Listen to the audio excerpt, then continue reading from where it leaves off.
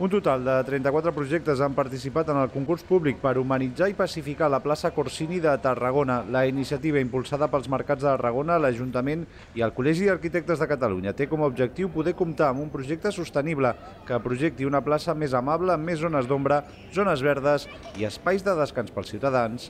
També que sigui compatible amb l'habitual activitat del mercadet de dimarts i dijous i amb fires i actes culturals. La idea guanyadora serà complementària amb el projecte de la Illa Corsini, que està tirant endavant el consistori tarragoní als carrers del voltant del Mercat Central. Una zona de trobada on, sobretot i pel damunt de tot, el protagonista siguin les persones i que esdevingui, eh, esdevingui un espai dinamitzador comercial, però també social i cultural.